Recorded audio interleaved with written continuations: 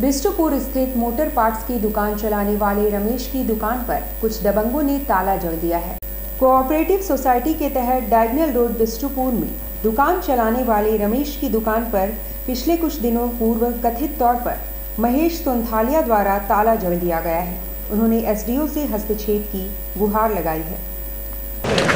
मेरे दुकान के सामने जो है गाड़ी जो है कुछ दबंग लोगों ने। कुछ दबंग लोगों ने गाड़ी को खड़ा कर दिया और दुकानदारी जो है करने को नहीं दे रहा दुकान में ताला मार दिया है और इसका शिकायत जो है हमने एच साहब से भी किया एसपी साहब से भी किया थाना में भी दिए हैं लेकिन अभी तक का कोई कर रहा कौन लोग नहीं ताला मारे?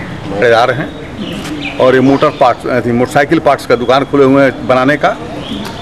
विगत दिनों जो हमारे पास वीडियो रिकॉर्डिंग है उसका विगत दिनों महेश अंथालिया कुछ लोगों के साथ आया और तो हमारा ताला तोड़ करके अपना ताला लगा दिए।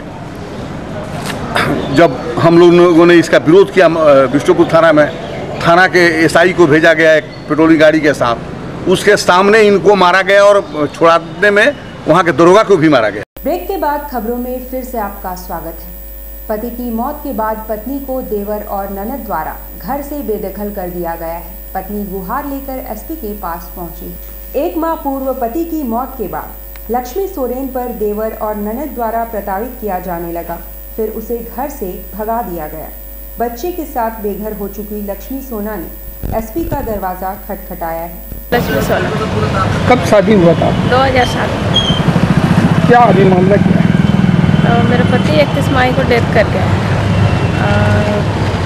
मेरे ससुराल वाले लोग मतलब डेथ करने के बाद में मेरे को घर में घुसने नहीं दे रहे हैं। इधर उधर पंद्रह दिन से, पंद्रह बीस दिन हो रहे जाती है इधर उधर रिलेशन के घर में रह रहे हैं। नाम लक्ष्मी सोना है। ये कदमा रामजनन नगर में रहते हैं। इनके हस्बैंड को अभी डेट किए एक महीना हुआ है। जब से वो डेट किए तब से इनके ससुराल में इनके देवर और ननद लोग इनको मारपीट करके घर से भगा दिए हैं और वो घर को अपने कैप्चर करके रखे हुए हैं। राजेंद्र विद्यालय में बिहार एसोसिएशन द्वारा आयोजित के एन शर्मा स्मारक रक्तदान शिविर में बड़ी संख्या में लोगों ने रक्तदान किया। शिविर में 100 यूनिट रक्त संग्रह का लक्ष्य रखा गया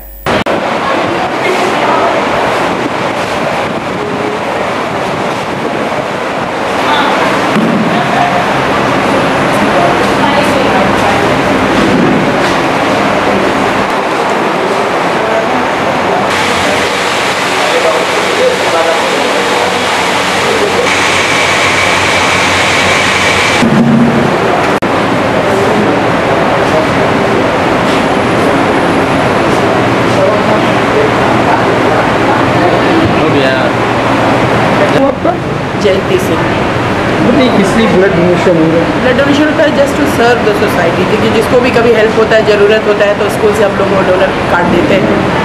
और इमरजेंसी के केस में तो वो ब्लड कूपन से इकट्ठा होता है वो हेल्प के लिए यूज़ होता है।